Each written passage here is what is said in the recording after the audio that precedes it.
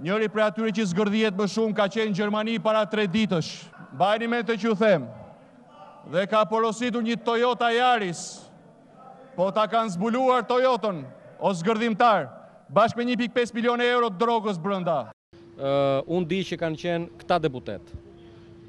Nga Partia Socialiste Mimi Kodheli, nga Partia Demokratike Sali Berisha, Nga partia demokratike përsëri Lulzim Basha, nëse Saliu ka qenë me drogë në Toyota Yaris dhe ka parë Lulzimi, kjo është çështje e brendshme e Partisë Demokratike në kuadër të dueleve ndoshta ende të fshehura për lidershipin e Partisë Demokratike.